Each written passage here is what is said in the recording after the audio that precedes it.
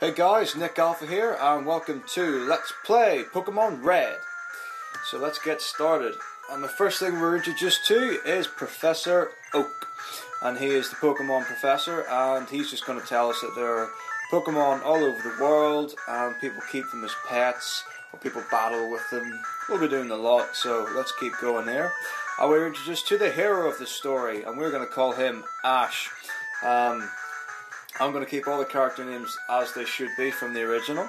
And here is another guy we're introduced to. Who could he be? He is our rival. So we've now got all the components we need for a classic RPG. So we're going to call him Gary, because that's what they're both called in the original. So, now we have our hero and our villain. Let's um, get started with the story, shall we? And as we all, we know, all good RPGs start with you waking up in your bedroom. So let's have a little go in the SNES there, bit of fun, and then move up to the PC. And in the PC, there's a potion, and that will heal our Pokemon's HP.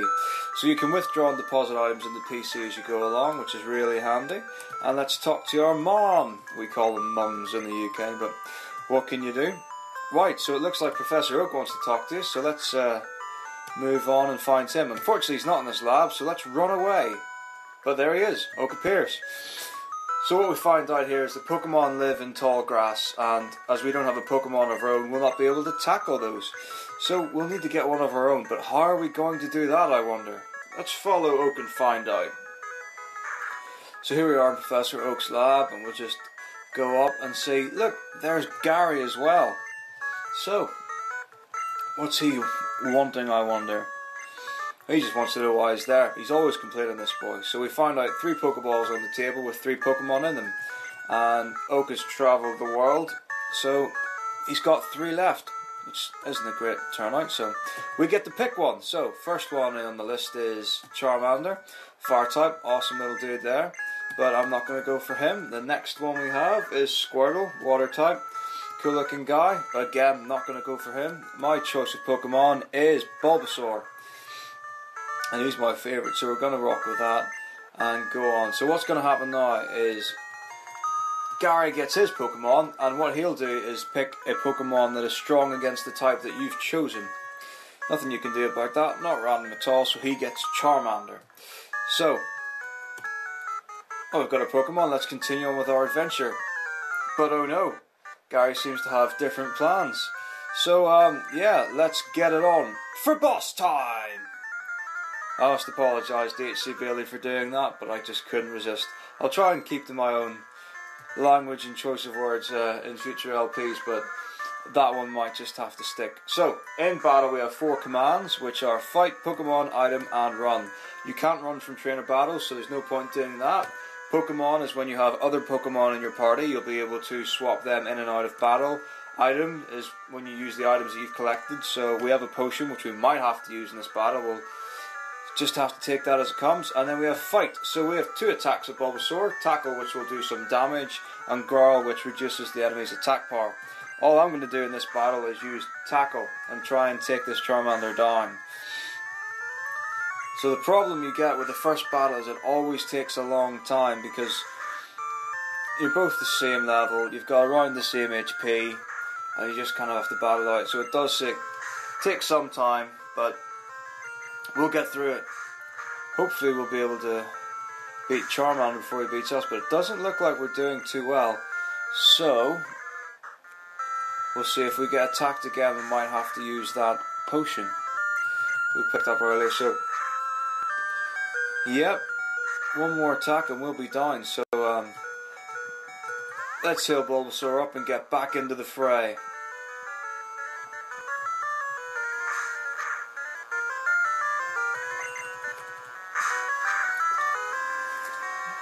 It looks like Gary's picked himself a quality Pokemon right there. He's really laying in this. Oh dear, critical hit's not good. I think we got lucky there with the Growl, and let's see, can we finish him off? Yes! So we've won our first battle. We had to use a potion, which isn't good, but needs must. So we've gone up a level, which is awesome. So our stats go up a bit. Um, and that's all great. This is the only battle that your Pokemon actually get healed after as well. So, we can get straight to it. Gary's going to go away and do his own thing. Um, so let's rock on and start the adventure. So, obviously, the only place we can really go is out of town. Um, so, as we know, Pokemon are in the tall grass, so this is our first random encounter, and it's with a Rattata. So, we don't have any Pokemon, and we don't have any facility to um, catch Pokemon, so all we can really do is battle with them at the minute. So, that's what I'm going to do on my way to the next time, is just take down all the Pokemon on the way.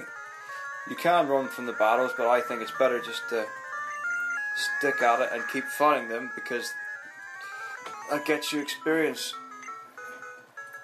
And experience means you can go up levels, which is exactly what we need to get through the game. So let's talk to this guy, see what he wants.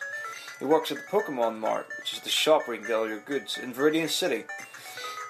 So that's where we're going next, and he's given us a potion, which is awesome. So let's keep going. And we've got another battle. Alright, well this one's with the Pidgey, floating type Pokemon. A lot of people like the Pidgey. Don't know if it's because of the anime series and it comes up a lot, but I'm not a big fan. There's a flying type that I prefer we can actually get just as early, really, so I'll tell you about that later. All in good time.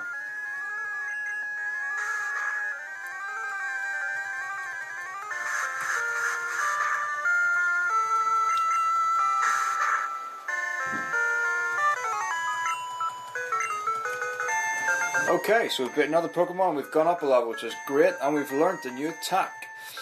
Leech Seed, so I'll demonstrate that later. Let's go on. He hasn't got anything interesting to say, so we'll just keep our lit past him. And here we are, we've arrived in the next town, which is Viridian City. So what we want to do is heal up first, so we go to the Pokemon Center, and we talk to the nurse here, and she will heal our Pokemon. So it takes all the Pokemon in your party, puts them back to full health, and removes all negative status effects you might have gained along the way. But obviously, we can't get any of them at the minute. So let's move on to the Pokemart, which is where the guy in the shop was before. So, um, why? Well, they seem to know who we are, and there's a, an order in for Oak. So let's go deliver that now while we've got some time. So we're just going to go back the way we came. Classic fetch quest. So with the ledges there, you can't jump down them, you can't jump up them, and uh, you can avoid a lot of the grass here. But I'm not going to do that because I want to get as many encounters as I can to um, level up. So here's another Rattata. Hopefully we can take it down a bit quicker now that we've leveled up. I'll show you Leech Seed actually now. It's a Specific grass type. And what you will see is that when you choose an attack, that um, it has a certain number. So there you see this one has got 35 out of 35, 40 out of 40, 9 out of 10. So what that's your PP or power points. So what that decides is how many times you can use that attack. Once you run out of um, your PP, then you can't use that attack again. If you run out of all PP of all your moves, then you'll end up using a struggle move. Um, but that will also do damage to you. But that's not likely to happen here. So I think what I'll probably do for repeat battles in the future is I'll probably edit them out unless I'm trying to, to do something specific like catch a Pokemon. So here we are back in Town and we've hit another battle. So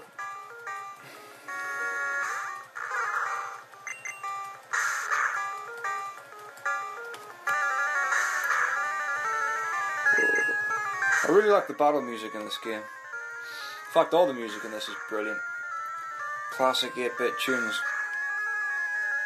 I always think that that's basically my favourite era for video game music. Don't know why, always intrigued me. Nothing like a good 8-bit tune. So here we are back at Oak's place, and let's give him the parcel. So he wants to know how the Pokemon. We've only had the Pokemon for a few minutes, so don't know what's going on there. We can't be that close, but we've delivered the parcel. So his fetch quest done, and Gary's come back again. Maybe he's finished his quest. Oh no, apparently we've been summoned as well. So, um, let's see, he's talking about the invention in the corner there, and that's called a Pokedex. So, that basically tells you more information about the Pokemon and shows you a list of other ones that you've encountered in future games that can actually show you which ones you've caught as well.